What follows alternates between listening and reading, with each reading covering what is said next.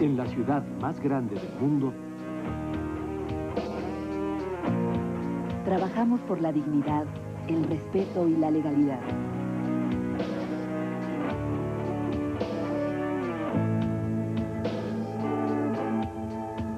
Nuestra comisión son tus derechos.